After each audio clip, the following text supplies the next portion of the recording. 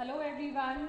Today we are going to talk about how advance vendor payments are carried out in NetSuite. Every business has to purchase the inventory items for the purpose of trading or manufacturing.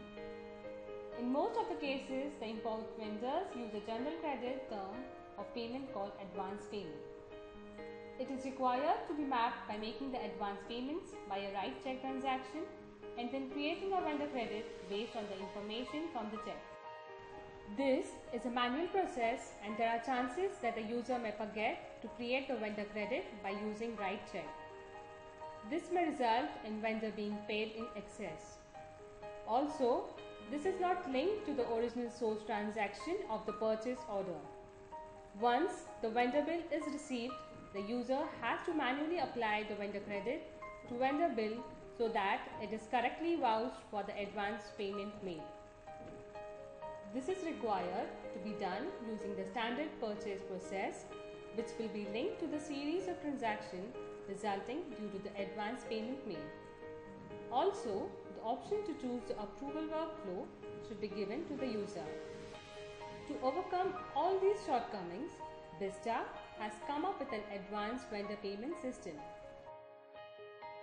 We first navigate to the ADPS setup page which will enable this functionality. This page contains all the data that needs to be filled for the initial setup like bank account, other current asset account and approver. We now navigate to creating a purchase order.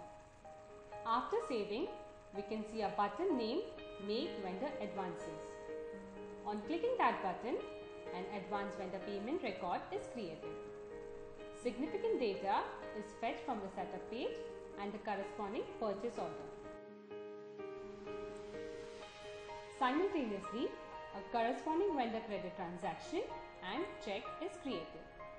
We can also have an approval process if needed by configuring it in the initial setup.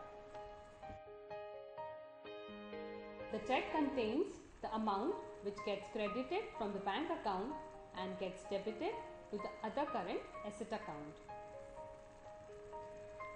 Also, the vendor credit transaction contains the amount which gets reflected in the accounts payable and other current asset account. At last, the user can also void the transaction by clicking on void advance payment button in the view mode on the record. The record gets voided by deleting the check and vendor credit transaction created. To know more, Please visit our website www.bistasolutions.com or consult our experts on sales at bistasolutions.com.